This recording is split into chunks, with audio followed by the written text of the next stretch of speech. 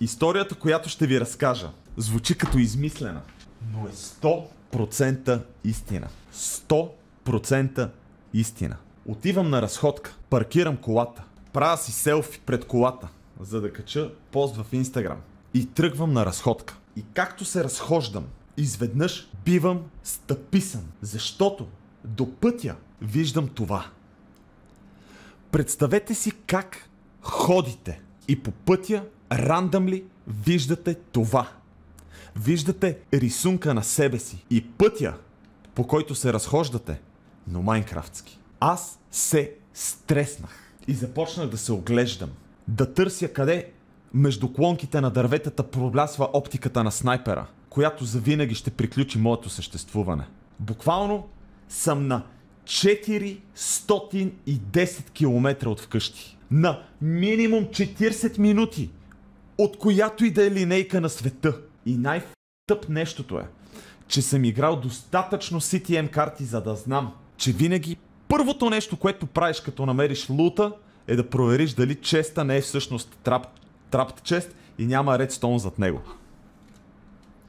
И той е подпряно е така подъгъл. И аз отивам да надзърна какво има. И виждам ето това. Което от моя ъгъл изглежда като някакви кибритени клечки. То, то е така подпрямо. И след това поглеждам още и виждам нещо червено отгоре. Като фитил. И съм...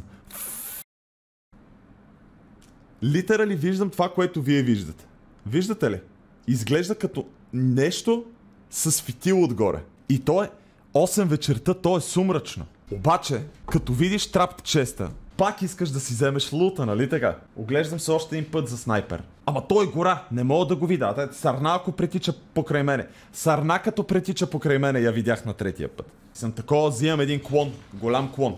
Защото преценявам, че това няма как да е 20 килотона. Взимам един голям клон и го ръчкам с клона. Побутвам го леко и вече мога да го видя под ето такъв ъгъл. Но, но, но пак изглежда като нещо с фитил отгоре. Е, това червеното мене ми изглежда като фитил. И си казвам, добре, що ми има фитил, би трябвало да имам поне някаква една секунда warning, разбираш ли? Поне една секунда warning. И запечатвам в съзнанието си как изглежда това. Цвета. Защото ако се запали, трябва да се промени леко цвета. Буквално виждам ето това, разбирате ли? Буквално виждам ето така застанало това нещо. Не знам какво е. Obviously, нали? Сега знам, че е Spaceback с рамка за рисунката, но аз съм във филма, копеле.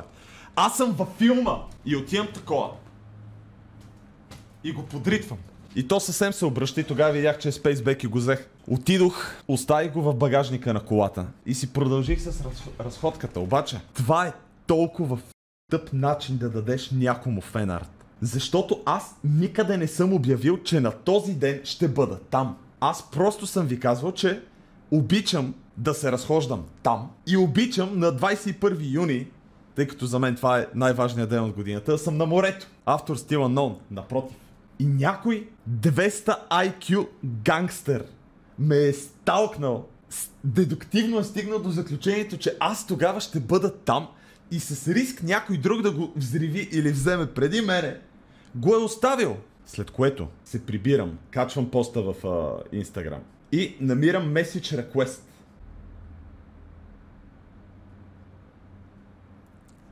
който ако бях видял преди да го намеря, щеше да е супер, но за съжаление видях след това. Но иначе арта е мега як.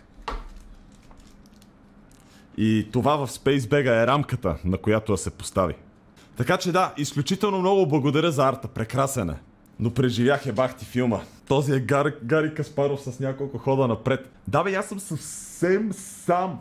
Няма никой около мен. Беше просто странно. Ама такова притеснително странно и след това хубаво странно. Няма ли повече смисъл, ако някой иска да те взриви да е с електроника, а не да сложи фитил и да се моли да се запали успеш?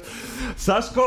Естествено! Естествено! Това не го подаваме под съмнение.